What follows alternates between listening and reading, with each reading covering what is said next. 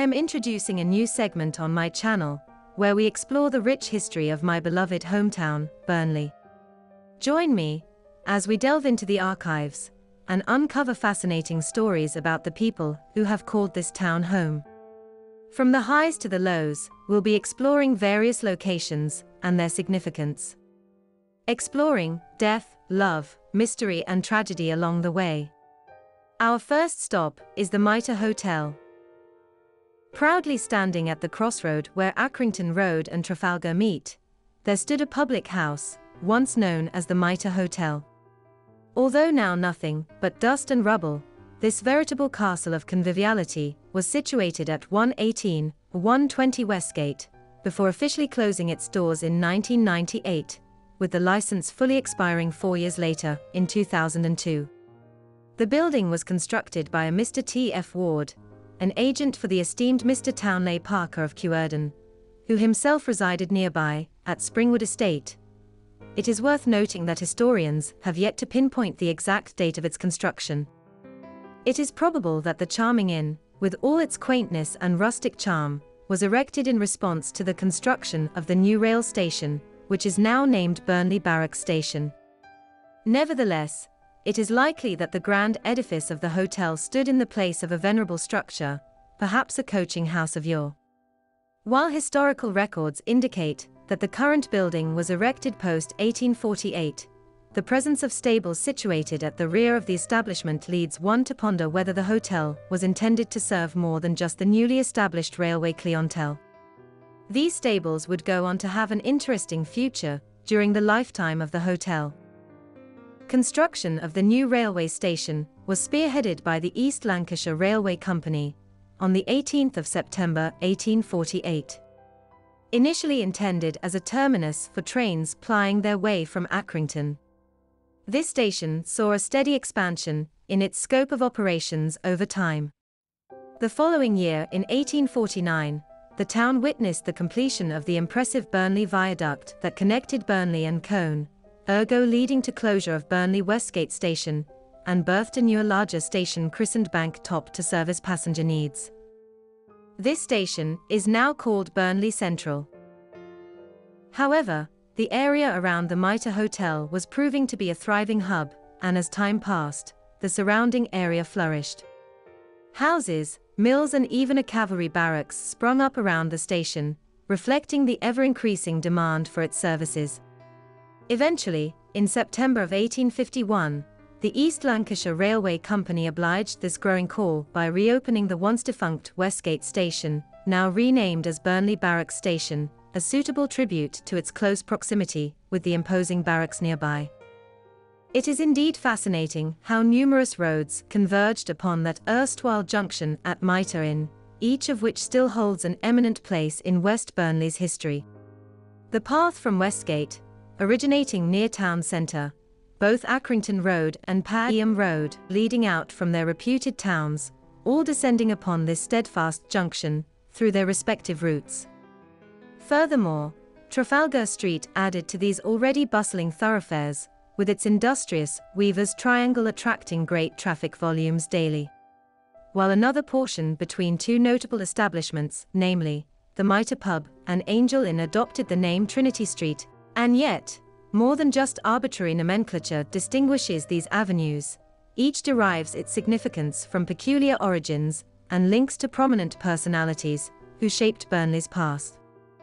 For instance, Cranmer Street elicits powerful allusions to religious figures within Anglican circles, as it was christened after Thomas Cranmer himself, a man whose impact on ecclesiastical affairs earned him recognition as Canterbury's first archbishop during the fruitful years spanning 1489 to 1556. Similarly intriguing is Pomfret Street, which encapsulates an association with George Pomfret, proprietor of Albert Mill, evocative of the booming industry now long since past. Duckett Street has a rich history, with James Duckett's entrepreneurial success in manufacturing sanitary wares at his Blannel Street factory being a notable highlight. Nearby, there was a massive clay pit that dominated the area, which was accessed through Burnham Gate and transported underground via a tunnel beneath Accrington Road. Further down Accrington Road stands Cuerden Terrace, an assembly of buildings situated upon a landing that once belonged to preeminent members of the Townley family. Blannel Street is named after an old homestead and farm that was once located in the Coal Clough Lane area. Mitre Street, situated to the left of Trinity Church, was home to several small courts and enclosed housing, including Crossley Court, which was listed in 1932. Mitre Place, which was situated at 2 Accrington Road, but has since been demolished, used to serve as the rear entrance to the Mitre Inn. It also contained a couple of houses on the right side of the pub, and at one point, a cafe on the corner, which later became a taxi office. Additionally, Trinity Terrace is situated at 8 Accrington Road. There were several establishments in the area that shared the name Mitre, including the Mitre Timberworks, Mitre Bridge, and Mitre Dockyard. It is likely that the name originated from the Holy Trinity Church. Mr. William Bracewell was the first recorded occupant of the Mitre Hotel. It is likely that he was associated with Mr. William Bracewell, who co-owned the Mitre Timberworks. William served as the longest known landlord at the pub. The building's windows on Cranmer Street resembled those of a toll booth, which is reasonable, as Westgate was probably a toll road. Edward and Esther Griffiths were the proprietors during the Mitre Hotel's heyday in 1871. Samuel Holt took over the tenancy rights prior to the auction on June 14, 1875. An advertisement in the Burnley Gazette from May 29 of that year confirms this. The advertisement stated, Valuable public house for sale within the borough of Burnley. To be sold by auction, by Messrs. M. and T. Watson, at the house of Mr. Samuel Holt, the Mitre Inn, Burnley, on Monday, the 14th day of June next, at 3 o'clock in the afternoon. Subject to such conditions, as shall be then, and there produced, all that commodious, and well accustomed inn, or public house, situated in Westgate, Burnley, at its junction with Trafalgar Road and Trinity Street, called the Mitre Inn, now in the occupation of Mr. Samuel Holt, as tenant thereof, together with the yard, wash house, and appurtenances, thereto belonging, also all that four-stalled stable and coach house, with hayloft over, together with all that three-stalled stables adjoining. And also that cottage site in, and being number 1 Cranmer Street. Also that cottage situated over the coach house, and which is now unoccupied. The hotel contains in the basement very extensive wine, spirits and beer cellars with stone vaulted roofs, on the ground floor, commercial room, parlor, bar, bar parlor, vault, kitchen, scullery, pantry, and spacious corridors, on the first floor, a well-furnished billiard room, 38 feet 6 inch by 16 feet, sitting room and four bedrooms on the second floor, three bedrooms and club room, and bathroom, the latter being fitted up with hot and cold water. The whole of the premises are in excellent repair, neatly and substantially stone built, being well furnished throughout, and have a building frontage to Cranmer Street of 79 feet, Trafalgar Road of 43 feet, and to Westgate of 42 feet. The Mitre in being situated at the junction of three of the best and most frequent thoroughfares in Burnley, and within 100 yards of the Burnley Barracks station of the Lancashire and Yorkshire Railway, its situation is daily improving in value. The property is of freehold tenure, and will be sold subject to the payment of yearly ground rent of 12 shillings. And to a lease thereof to Messrs. Brown and Astley, and which expires in the month of March, 1876.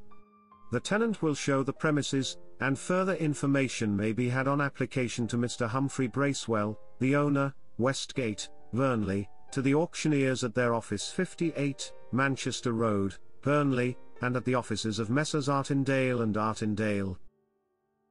In the 1881 census, the hotel was wrongly named the Myrtle Inn. It is believed that the mistaken spelling or handwriting might have contributed to the mix-up. The public house had a name board outside that displayed a bishop's mitre. Additionally, there was a mural at the entrance of the pub that also featured a mitre. Given that Burnley was a garrison town with a significant military presence, the Mitre Hotel's reputation as a refined venue made it a favored destination for officers rather than rank and file soldiers. The West End Physical Culture Club was established in 1927 and operated out of a small gymnasium located in the yard behind the Mitre Hotel. The club was managed by former Army physical training instructors.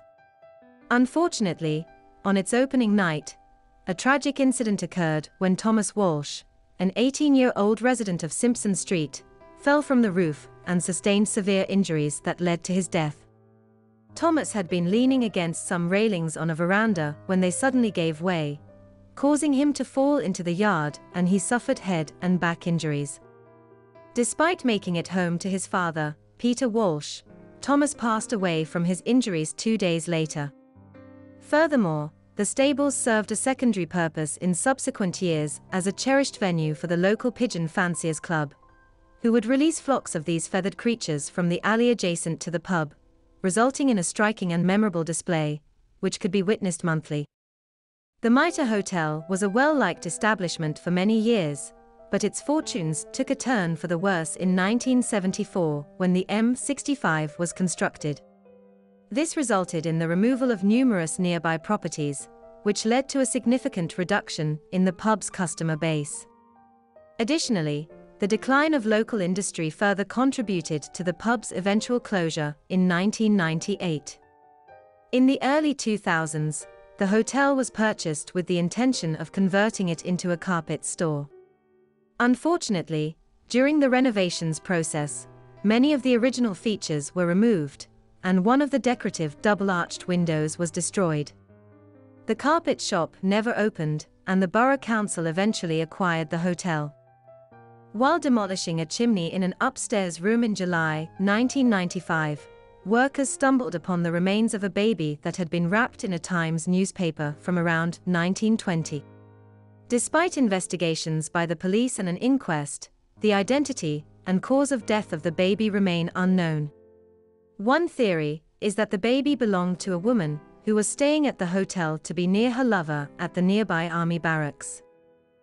The Mitre Hotel, which had been serving the locals of Westgate and Accrington Road for over a century, had fallen into disrepair and remained vacant for more than two decades. In response, local social landlords, Calico, proposed a new well-being project for the site. In 2016, the abandoned building gained attention once again when a mural of Burnley's manager, Sean Dyche, was painted on its walls to celebrate the team's promotion to the Premier League. Dave Jones, a local graffiti artist, created the artwork as a tribute to the Ginger Mourinho and called for Mitre Street to be renamed Sean Dyche Way. Despite this, Calico was able to obtain planning permission to demolish the Grade 2 listed hotel. The mural was dismantled and gifted to the Junior Clarets. A modern facility has risen from the ruins of the former Mitre Hotel, boasting 26 rooms and dedicated spaces for community projects and training. Its design is focused on enhancing the health and well-being of its patrons. The construction of this state-of-the-art building was undertaken by Ringstones Maintenance and Construction, with a total cost of approximately £3.5 million. It officially opened its doors for business in 2018. For an illustrious century and a half, the Grand Mitre Hotel reigned supreme at one of Burnley's most noteworthy gateways. It was an epicenter for people from all walks of life, welcoming locals hailing from both Accrington and Padiham Road as well as those who toiled in the Weaver's Triangle. For many families within Burnley, this establishment acted as a beacon of leisure, where joy abounded, but also where sorrow lurked. Even during its final days, the formidable Mitre Hotel stood tall with an unyielding demeanor akin to Sean Dyche himself, whose face adorned its walls, until it finally surrendered itself to make way for a new building that aimed to forge ahead into bright horizons. The culmination of such legendary status renders the Mitre Hotel a veritable microcosm of Burnley's history, reverberating fondly through cherished remembrances held by past patrons.